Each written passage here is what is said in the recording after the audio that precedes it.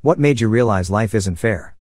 I remember working as a rent a cop at a Target store years ago and there were three girls swiping makeup into each other's purses. I walk to the door as they're all leaving and I know policy is that I can't restrain any of them.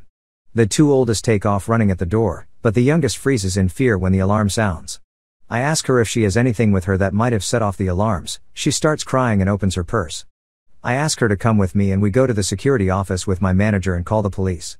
If she had ran, she'd have gotten away, but because she did the right thing now she was in trouble.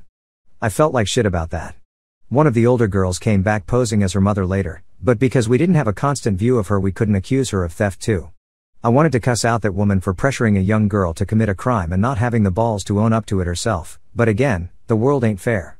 I realized horrible people can do horrible things, and nothing happens. Great people can do great things, and nothing but shit happens to them.